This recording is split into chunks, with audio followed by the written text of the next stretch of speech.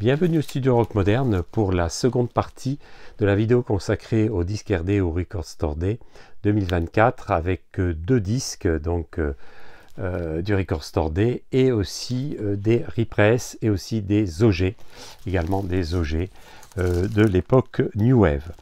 Alors pour le premier, il s'agit d'un disque que l'on trouve disponible sur le Record Store Day anglais mais également français, or que j'ai pu avoir par euh, Hit, euh, Hit Music euh, à Nice, donc un disque indépendant sur Discogs, et je remercie de m'avoir hyper bien emballé le disque.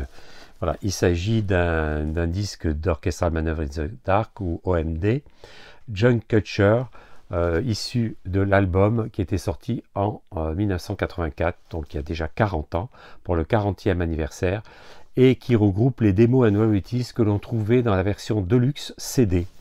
Voilà, mais euh, qui n'avait pas été réédité jusqu'à présent en disque vinyle. Alors on trouve euh, les quatre singles version maxi tirés de cet album de 1984, donc Junk Culture, qui était donc le, cinquième album euh, studio euh, d'OMD, euh, groupe donc de Liverpool, je vous rappelle, anglais. Alors il s'agissait donc de Locomotion, de Talking Loud and Clear, de Never Turn Away et surtout le Tesla Girls, dont on a une version maxi, une version démo. Et on a également une version réenregistrée de Julia Song euh, qui figurait en phase B du maxi que j'avais acheté à l'époque en 84 à New Rose de Talking Loud and Clear. Alors il y a euh, aussi les phases B des inédits, donc Air Body in My Soul, The Avenue, euh, Wrap Up, une version, démo, Island Studio démo de Tesla Girl, White Trash et Even Is Island Studios Demo. Voilà, donc pas mal de choses. On pourrait faire un petit arrêt sur image. Donc pour une trentaine d'euros, euh, évidemment ça fait 40 euros avec les frais de port, c'est ça le souci. Et c'est du GZ Media, mais admirablement bien pressé. Voilà, donc on a euh, le premier, premier euh, volume, je vais vous mettre, voilà, je vais vous le passer dans l'ordre. Alors c'est une édition limitée, alors je vais regarder euh, sur mon petit pense-bête. Je crois que c'est limité à 3, 3500 exemplaires, c'est ça. Donc édition limitée à 3500 exemplaires, donc sur deux disques vinyles. Voilà les, tracks qui sont contenus sur le premier disque, disque bleu, très beau disque bleu, translucide. Donc c'est euh, c'est le label République qui a réédité sous licence euh, Virgin, qui a réédité ce disque. Et on a le deuxième, le deuxième, le deuxième, ou le second, avec donc toutes ces versions. Enfin, c'est vraiment fantastique ce qu'ils ont fait. Euh, et une version rouge, ou plutôt purple, violette, translucide, très jolie, assez sombre. Voilà, très très très très très très très très belle. Voilà, hop, très beau macaron. Et il me semblait que c'était, euh, je vais regarder quand même là. Oui, qu'il y avait EMI dans le coup aussi, EMI. Voilà, pour la réédition. Donc, euh, Demo and Mobilities Limited Edition, donc 3500 exemplaires, Half Speed Mastered at Abbey Road Studios. Donc, ça a été admirablement bien remasterisé et pressé, euh, gravé en, en Half Speed, c'est-à-dire en demi-vitesse, euh, pour que la gravure soit beaucoup plus précise et qu'on ait une qualité sonore bien meilleure. Voilà, donc très très très bon pressage et très bonne interprétation. Je vous le, je vous le conseille, c'est un des meilleurs du Record Store Day. D'ailleurs, euh, certains abonnés euh, m'en avaient parlé. Voilà. Alors, le second du Record Store Day, qui provient de, du disquaire indépendant Cosmonaut, chez qui j'ai commandé déjà plusieurs disques sans problème, c'est euh, en pendant avec le best-of qui était sorti l'année dernière du Funboy 3 de son Greatest Hit, eh bien on a la, version limitée de Extended qui a été éditée à, je reprends mon petit pense-bête, limité à 2500 exemplaires. Voilà. Euh, alors, ce qui est admirable dans cette version, vraiment, elle est extraordinaire. Alors, je vous rappelle un petit peu, Funboy Threes ont surtout euh, sorti des albums en 82, l'album éponyme euh, Funboy 3 et Waiting en 1983. Et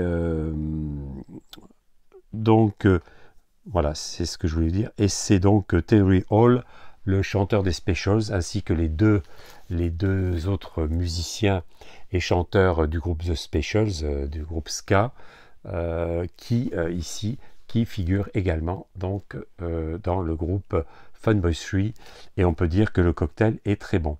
Alors le deuxième album a été produit par David Byrne des Talking Heads, voilà, et est excellent d'ailleurs, je vous recommande.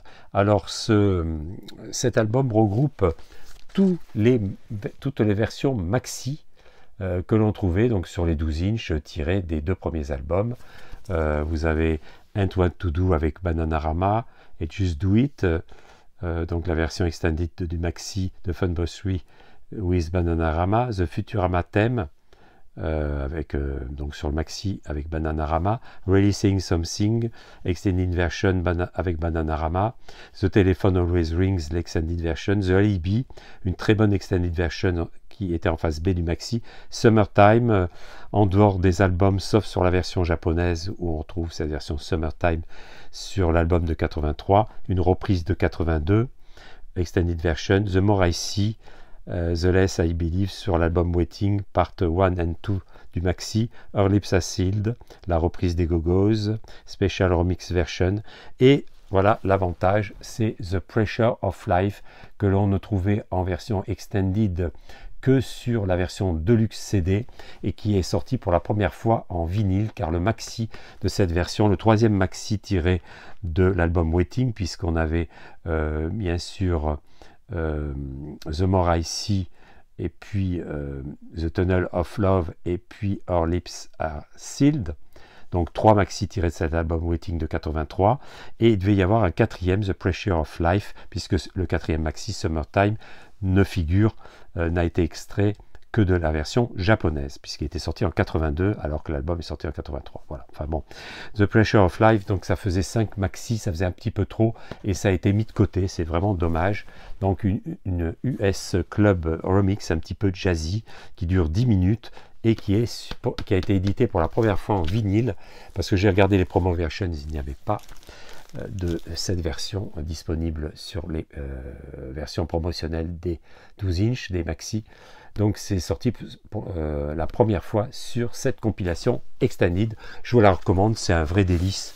C'est extraordinaire. Ici, vous avez euh, la discographie complète de, des, des Funboy 3. Voilà. Avec donc les maxi, Tunnel of Love, etc. Donc je vous montrer un petit peu voilà, il y a une belle discographie. Ça, c'est la version de luxe CD euh, qu'on trouve ici chez Chrysalis, évidemment. Et on retrouve évidemment le trio. Le trio est là aussi. Donc, en 83 et l'autre c'était en 82 et vous avez donc toutes ces versions là voilà je vous les montre au ralenti Alors, Pressure euh, of Life, euh, oui, c'est ça. C'était enregistré à Wessex Tunes Studios à Londres en 83. Voilà. Et donc, ça a été réalisé pour la première fois sur The Complete Funboy 3 euh, CRB, etc., en août 2023, que je vous avais présenté. Donc, sur la version Deluxe CD. Pour la première fois, c'est sorti. Et là, en vinyle pour la première fois. Donc, ça valait le coup pour ceux qui sont fans, d'avoir euh, ce, euh, cette version, donc The Pressure of Time, qui figure, euh, dont la version single figure sur l'album Waiting de 83, si je vous avais pas précisé. Donc chez Chrysalis. 2500 exemplaires. Alors, puisqu'on est dans le ska, un petit peu avec les specials, moi avec Famous 3, un très très très très bon, album du groupe Madness, de, qui avait donc démarré au milieu des années 70, mais dans sa formation donc de 1979, sauf le batteur, donc qui est resté intact jusqu'en 2012, où est sorti cet album qui s'appelle Oui Oui Si Si Yaya Dada. Voilà, donc ça veut dire donc en, plusieurs langues, en russe, en allemand et en espagnol, voire je crois en italien, et oui en français. Donc très très bon album. Alors d'après les critiques, euh, je les rejoins un petit peu. La face A a du mal, à peine un peu avec My Girl. On se dit oh là là, c'est encore un, madness, même si on est en 2012, c'est encore du madness, toujours pareil. Mais en fait, dès qu'on a, dès qu'on atteint euh, euh, la phase B, alors là, c'est la révélation. On a on a le titre Circus Freaks qui est absolument diva. Et on a un morceau gospel, Death of uh, Rude, Boys. Oui, c'est ça. Death of uh, Rude Boys, qui est absolument fantastique. Voilà, c'est vraiment un très très très très très bon album pour 27 euh, euros. Franchement, c'est... Euh, bon, maintenant c'est un petit peu augmenté, mais c'est vraiment fabuleux. Alors, c'est un Getfold. Euh, alors, il y a 7 bonus, bonus tracks. Et c'est vrai que, euh, je ne sais pas si j'avais pris quelques notes, euh, voilà, Waiting OMD, euh, Paramore, voilà. je regarde les morceaux. Non, non, non. donc, 7 bonus tracks, que ce soit la version CD ou version vinyle, c'est pareil. Je, je vérifier. With Mike, Chris and Woody, donc uh, includes Death of uh, Rude Boys, My Girl 2, How Can I Tell You, Never Knew Your Name. Voilà. C'est pas une édition limitée, apparemment il y en a plus encore, c'est une édition noire, mais euh, sur BMG, ça fait partie de ces fameuses rééditions de BMG, BMG, admirablement bien pressé, extraordinaire, remaster, enfin c'est vraiment, faut dire que c'était certainement un master numérique en 2012 qui avait été mis sur vinyle, et euh, comme le disque coûtait à trois chiffres, euh, bon, et parce que c'était un excellent disque, donc généralement quand il s'agit d'excellents disques, eh bien il cote, voilà, faut quand même pas que ce soit des bides, hein. Et donc on on a ce macaron. Voilà. 180 grammes, très très bien pressé. C'est du très très bon euh, BMG. Et là on a le deuxième, le second disque. donc je vais montrer l'intérieur, je vous remonte parce que c'est très british, hein. ça fait un Pelton John. voilà, c'était l'époque quoi aussi, enfin bien qu'on était en 2012, mais un groupe des années 70, donc un clin d'œil aux années 70. Alors là, je l'ai mis sur une, parce que j'avais plus de, de pochette distac à coin arrondi, alors j'avais encore celle-ci. Je l'ai mis là-dedans, donc vous voyez, j'ai tout écouté, j'ai fait mes devoirs, vous voyez, donc tout a été parfaitement bien écouté. Euh, voilà, donc pour Madness. Ensuite, le fameux best-of de Bruce Springsteen qui a voulu fêter ses 50 ans de carrière 1973, euh, euh, donc 2020-2023 hein, en fait. Alors ça retrace donc des hits, des tubes qui sont sortis euh, depuis le Greeting from Asbury de NJ de 1973, un de ses premiers 45 tours avec le LP euh, donc inédit Letter to You dont je vous avais présenté l'original en 2020 qui était sorti pendant le Covid que j'avais eu du mal à avoir à la Fnac voilà. Alors 18 titres sur vinyle euh, et CD 31 titres sur numérique euh, streaming. Voilà. Voilà. Donc voyez on voit un petit peu les tables de mixage et vous avez tous ces titres évidemment je regardais s'il y avait Born, euh, to Run. Voilà, il y a tous ces titres. Hein. Born in the USA, évidemment. Voilà, Letter to You. Voilà, donc vous avez ces 18 titres. Je vous pouvez faire un petit arrêt sur image. Et il s'agit de la version, euh, version rouge. Euh, je l'ai eu exclusive Amazon. Il y a une version bleue, une version orange, une version noire. Voilà. Et j'ai eu de la chance parce qu'elle cote à peu près dans les 37-38 euros. J'ai pu l'avoir en pré-order à 27 euros. Euh, parce que euh, faites des pré-orders, je vais vous dire pourquoi quand ils sont pas chers. Alors soit, alors de deux choses l'une, soit ce pré-order va, euh, va baisser de prix, à ce moment-là vous aurez le prix le plus bas, ça c'est Amazon s'y engage, soit à ce moment-là le pré-order va monter de prix et ce sera plus rentable pour Amazon de vous distribuer le, disque, le disque à un prix, un prix dérisoire finalement très bas que vous aviez commandé en pré-order. Donc ils annulent la commande ou, alors ils vous, ils vous mettent qu'elle est indisponible ou ils vont poireauter. Donc en fait vous annulez votre, votre commande. Voilà. Donc de deux choses l'une, euh, euh, voilà, soit vous l'avez à bas prix, soit soit c'est annulé. Voilà, c'est un petit peu embêtant, euh, notamment sur les wax wax, ça peut arriver quand il y a une grosse différence de prix. Là, il y avait qu'une dizaine d'euros, j'ai pu l'avoir, j'ai cru que ça allait être annulé quand j'ai vu les, prix. Et là, vous avez un très très joli rouge fumé, vous avez vu, c'est comme c'est magnifique. Les versions translucides, regardez là, c'est très très très beau. 140 grammes, très très très bien pressé. J'ai plus de pochette antistatique, alors il faudra que j'en achète hein, pour les mettre dedans. Il y a des petits frottements et le second disque qui est de la même couleur. Hein. Moi j'aimais bien cette, euh, cette édition euh, rouge fumé, très jolie, qui fait penser aux versions de, de Funky Family. Hein. Voilà. Je crois que c'était micro d'argent. Hein. Si je dis pas de bêtises. Voilà, ça fait penser un petit peu à ces couleurs un petit peu caramel. Alors il l'appelle comment euh, Voilà, c'est tout rouge.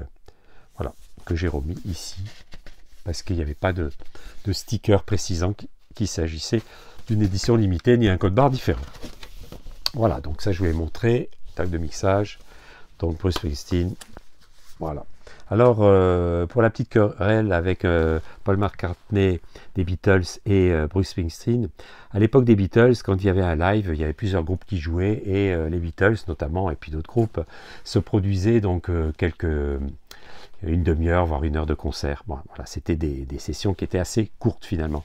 Et Bruce Springsteen a, bien que maintenant il n'ait plus la santé euh, pour le faire, a commencé par faire des, concerts live, donc des sessions de 3 heures, voire 4 heures, et ça, ça a un peu pesé pour, voilà, ça a un petit peu contrarié euh, McCartney.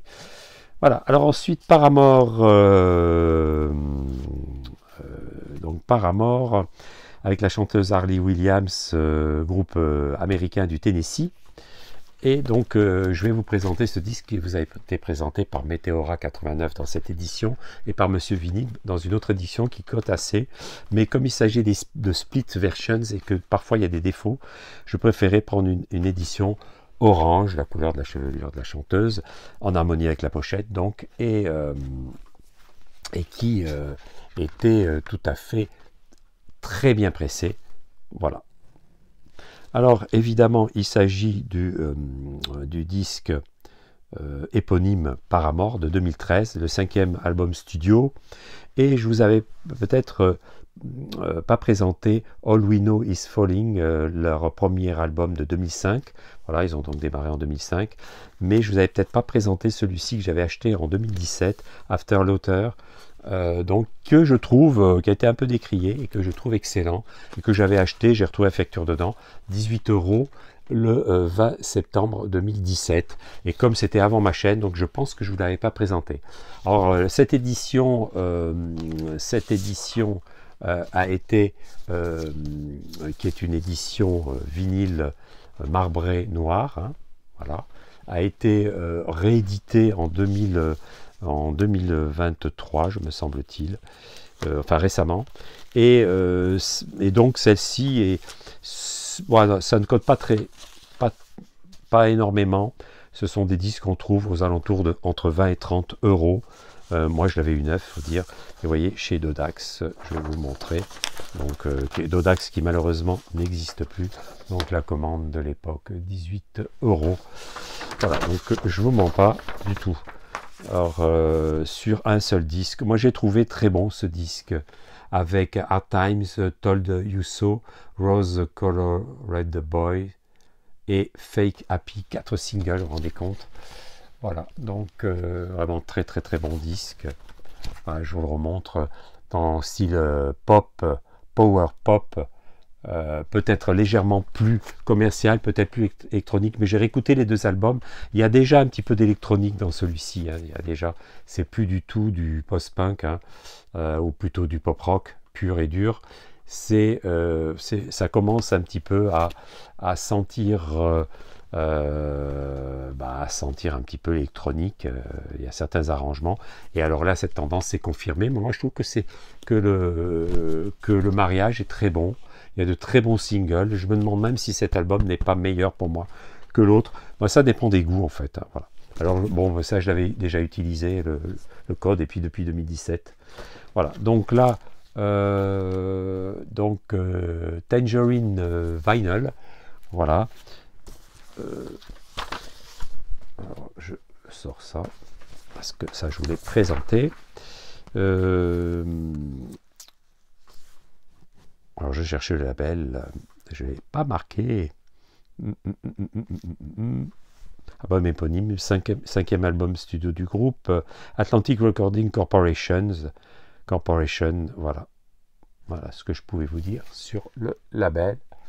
Et là, on a featuring Still Into You, Ain't It Fun, mais il y a énormément de vidéos tirées de cet album qui sont euh, plus excellentes les unes que les autres. Voilà ce que je pouvais vous dire. Alors, je vais vous sortir quand même.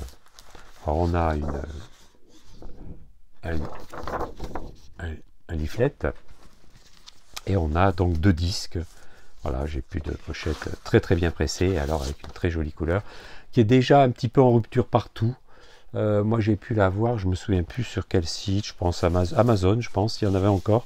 Mais sur la FNAC, on peut plus la voir. Enfin, ça commence un petit peu à être en rupture sans être sold out, mais voilà.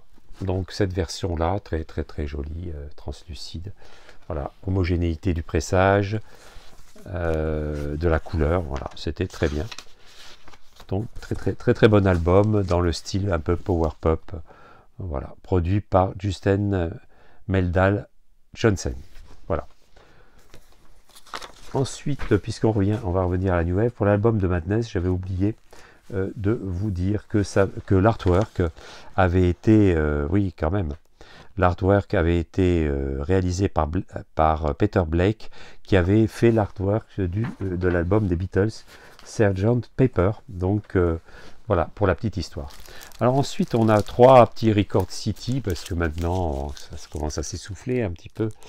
Et enfin, j'ai pu mettre la main, depuis 25 ans, je le cherchais, sur l'album du groupe anglais The Fix, Shuttered Room, qui est leur premier album de 1982 et bien sûr le chanteur euh, euh, Si Kumin, voilà, qui fait plus partie du groupe évidemment. Euh, il s'agit du repress japonais de 1985 et comme la version CD était sortie peu après, donc je pense que c'est pour ça que j'ai pu avoir un disque neuf.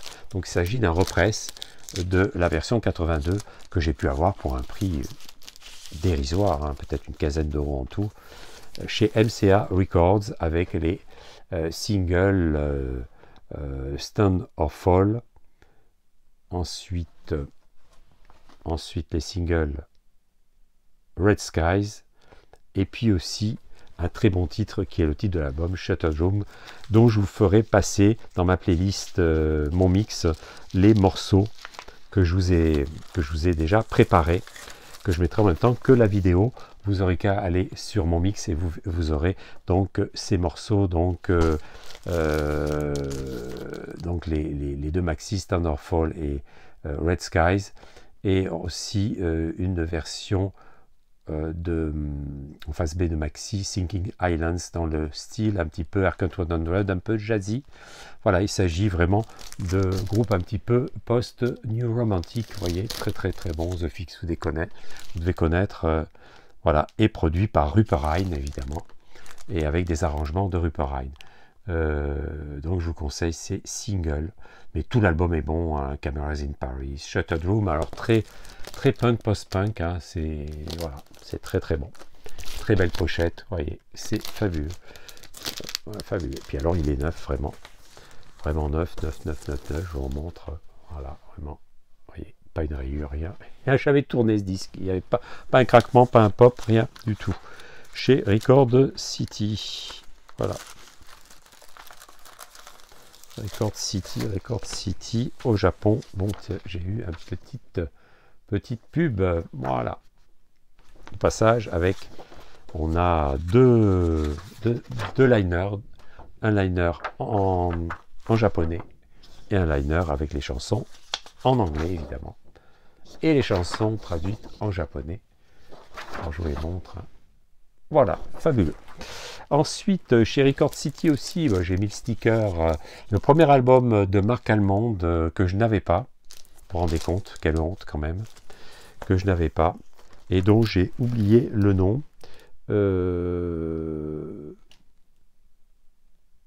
Vermine in Hermine, voilà. Vermine in Hermine. Euh, voilà, je regarde. Ah, c'est ça.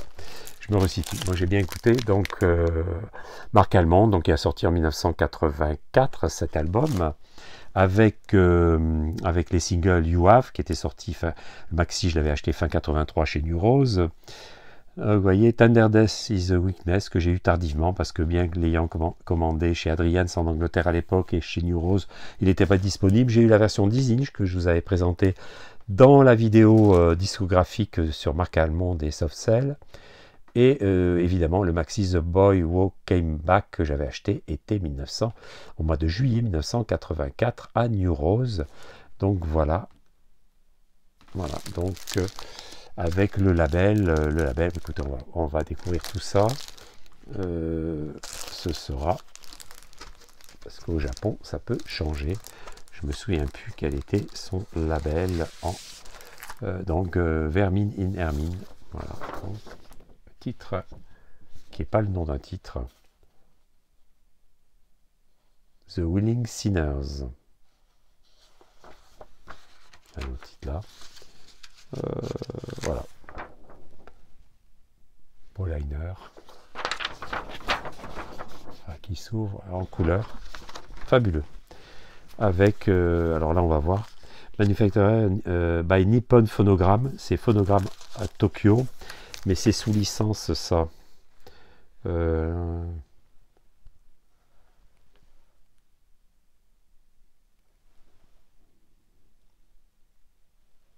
Voilà, ben non. Hein. Vermine, in, Hermine. Voilà. Donc oui, Vertigo. Voilà. Donc sous licence Vertigo.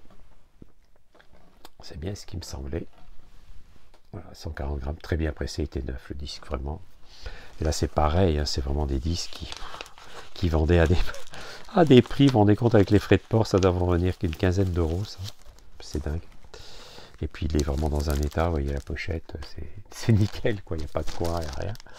Et fabuleux cet album, tout est bon, je vous remonte la tracklist de plus près, allez-y, foncez. Et alors ensuite le dernier euh, de la British Electric Foundation, créé par les membres dissidents de Human League qui avaient créé Event 17 et Event 17. J'ai nommé donc Martin Ware et Ian Greg Marsh et Glenn Gregory comme chanteurs, qu'on trouve ici, chanteurs du groupe Evan 17 et Evan 17, que l'on doit appeler Evan 17, puisque eux-mêmes se nomment Evan 17. Voilà. Alors, euh, vous avez euh, la, très très bonne. Alors, vous avez du Billy Mackenzie du groupe Associates, vous avez Tina Turner, Ball of, Confusion. Toutes les musiques sont réalisées par les membres du groupe Evan, 17. Euh, vous avez Sandy, Sandy Shaw, Bernie Nolan, euh, voilà. Tous les, tous les morceaux ont été arrangés et produits par Martin Ware et, Ian Greg Marsh, voilà, de la British Electric Foundation, puisque le premier album d'Evan 17, euh, Penthouse and the Pavement, était labellisé British Electric Foundation, comme le groupe euh, aussi Hot Gossip qui avait repris des morceaux de Human League à l'époque où Evan 17 faisait partie du groupe. Voilà. Donc euh, c'est difficile à trouver, pas cher, hein, mais, mais difficile à trouver. Là aussi, je le lorgnais depuis un certain temps. Voilà, sous licence Virgin, évidemment, puisqu'à l'époque, comme Human League 27 était produit par Virgin. Voilà. Et pour la petite histoire, Human League a enregistré dans le studio de Martin Ruschen, euh, l'album d'Air en 81, puisqu'il ne pouvait pas supporter de croiser euh, Evan 17, Evan 17 qui est enregistré au studio Virgin. Voilà, donc ils ont choisi le studio euh, qui était bien meilleur d'ailleurs. Alors, euh, Ball of Confusion de Tina Turner est absolument splendide. Achetez cette compilation rien que pour ça. Donc sous licence Virgin, évidemment donc, euh, sous licence Virgin, et ça a été pressé management par Victor Musical Industry. C'est Victor qui presse ça. C'est vrai que c'est Victor qui presse, euh, qui a la licence Virgin au Japon. Et on a euh, donc les, les, titres. Donc je vous ai dit. Euh,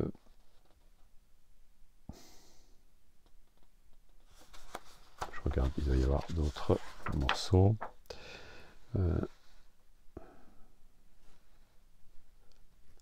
voilà.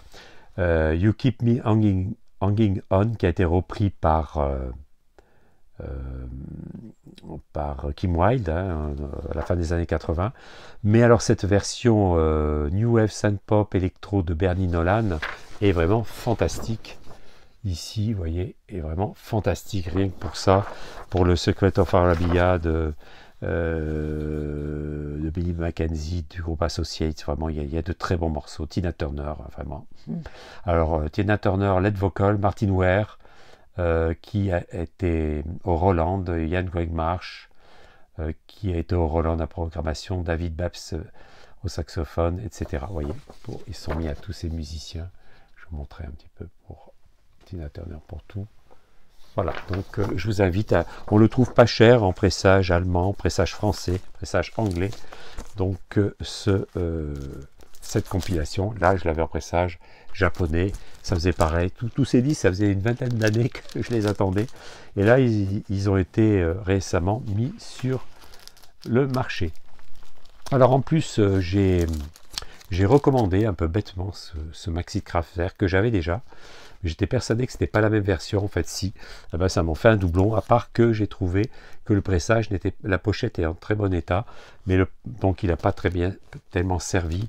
Donc Kraftwerk Computer Welt euh, version allemande tirée de l'album Computer World, Computer Welt de 1980-81, 81, début 81, euh, sorti en même temps que les champs magnétiques de Jean-Michel Jarre, donc en 81, début 81, et avec euh, Nummern et Computer Welt aussi la version originale, ici la version single. Là il s'agit de la version remixée, plutôt, c'est un véritable remixage, ils ont remixé la version de l'album qui a exactement la même durée, 5 minutes et quelques, mais il y a vraiment, euh, vraiment un remix beaucoup plus électro, beaucoup plus appuyé pour euh, euh, les disques jockeys, je pense. Voilà.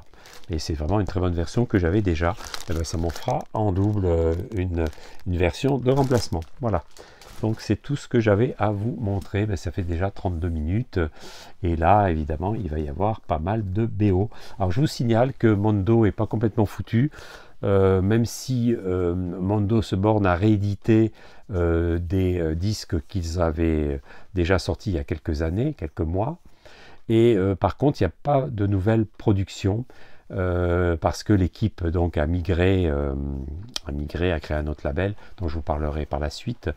voilà, qu'ils vont sortir le deuxième volet de, la version d'Hans Zimmer de, de, la BO de Dune d'une 2 donc. Euh, deuxième volet, ils vont sortir également euh, euh, la version Wonka. mais donc Mondo, il n'y a pas tellement de nouvelles productions. J'ai l'impression que Mondo est un peu fini et il se borne surtout à, distribuer d'autres labels parce qu'ils font presser des exclusivités Mondo par ces autres labels. Ça peut, ça peut être euh, Waxwork, ça peut être Enjoy the Ride Records, ça peut être enfin des tas d'autres labels. Donc ils peuvent euh, faire presser des éditions exclusives pour eux. Et mm, donc même de nouveautés, et aussi distribuer des, nouveautés d'autres labels.